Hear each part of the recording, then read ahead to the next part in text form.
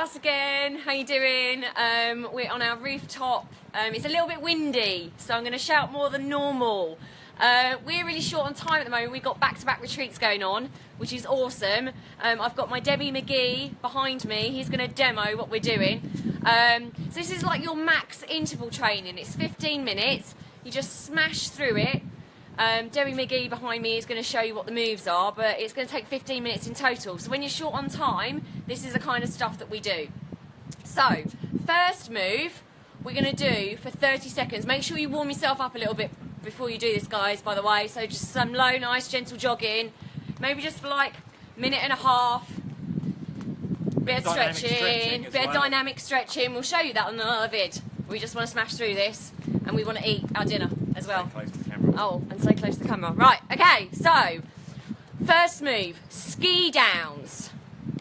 Ski downs. You do those for 30 seconds. Okay, lovely. Then you do this move sprint jacks. Sprint jacks. Sprint three jacks. Good. Then we have the football shuffle. Just gonna. Good. So football shuffle. You're bringing... Knees nice and high. knees nice and high, engaged. and hands to the opposite ankle. So keeping it nice and high. This is all 30 seconds. These moves, and then we've got the dreaded burpee. Smash out Wow. some burpees. Can you still see him? Yeah, still see him. So jumping your feet back, jumping up at the top. That's 30 seconds as well. So then you have, after those four moves of 30 seconds each, you have a 30 second rest. Then you do it another time, 30 second rest, do it another time. So three rounds of that in total. Then at the end of that, you have 30 seconds rest. Then you go into body conditioning. So that's all proper cardio stuff. Plyometrics and speed, getting the heart rate going, metabolic rate spiking, going into those fat reserves.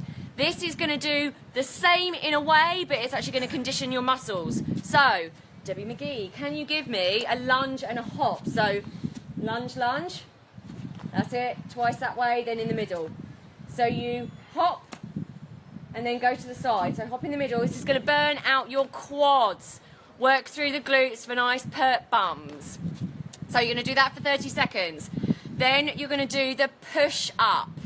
So I don't know whether you can still see him. Yeah, kind of.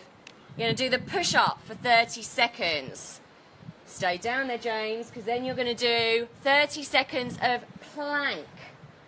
On the plank, I want you to keep your abs nice and tight. Your glutes engaged, that's it, that way. Push the heels away from you. I want you to do this on your hands, shoulders directly above your hands, and hold that for 30 seconds as well.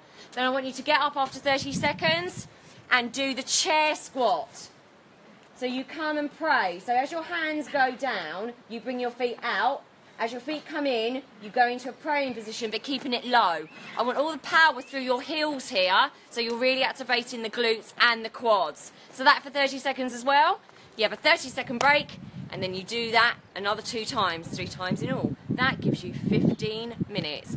Cardio conditioning, awesome when you haven't got very much time. Lots of love. Thank you, James. Thank you. Bye.